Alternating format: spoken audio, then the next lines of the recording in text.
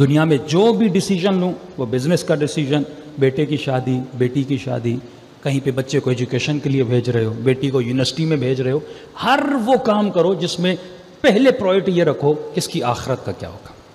सिर्फ़ दुनिया का नहीं रखो, क्योंकि सबसे बड़ी ड्यूटी एक वालिद की यह है कि अपने बेटे की आखिरत को क्या करे, बचाए। रसूल खुदा एक जगह से गुजर रहे हैं। बच्चे खेल रहे थे। एक बच्चा था जो रसूल खुदा के सामने आया, रसूल खुदा को सलाम किया। सलाम करने के बाद उसने कुरान की एक आयत पढ़ी। कहते, रसूल खुदा की आँखों में आँसू आए।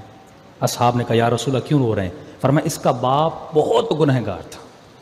अभी मैं अपनी आँखों से देख रहा हूँ, उस पर अजाब इलाही हो रहा है। लेकिन जब बच्चे ने बिस्मिल्लाह या कोई कुरान की एक जुमला पढ़ा, अल्लाह ने थोड़ी देर के लिए उसके अजाब को क्या कर दिया? ख़त्म कर दिया। इतना गुनहगार था, लेकिन अजाब इसलिए ख़त्म किया क्योंकि उसने अपनी ज़िंदगी में बेटे को एक लफ्ज़ अच्छा सिखाया था।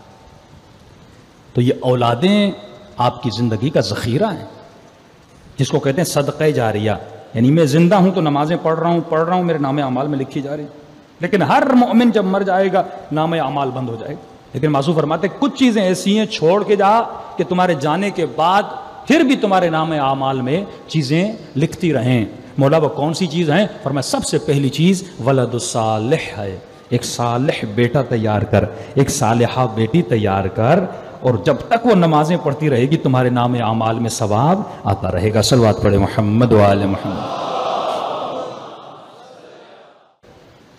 हातम ताई जो बहुत सखी था जब हातम से पूछा गया हातम और भी अरब हैं, लेकिन तुम तुम्हारे वजूद में इतनी सखावत कहाँ से पैदा हुई?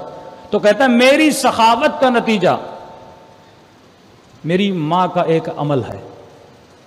अगर मेरी माँ मुझे सखीना बनाती, मैं कभी सखीना बनता क्या? क्या मतलब? का डेली बेसिस पे जब घर से निकलता था, मेरी अम्मी अगर मुझे पाँच रुपये देती थी तो एक्स्ट्रा और पाँच देती थी। कहती थी आतम, ये तुम्हारे यूज़ के लिए हैं और ये फकीर के खर्चे के लिए हैं।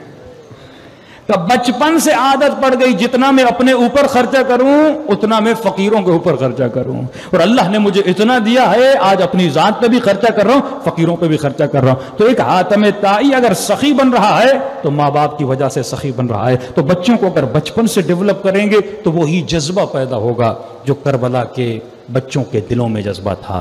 कि पूछा कासिम कई फ़ाइंद कल मौत? फरमाया, चचा, अहला मिनल असल। शहद से ज़्यादा मीठी है।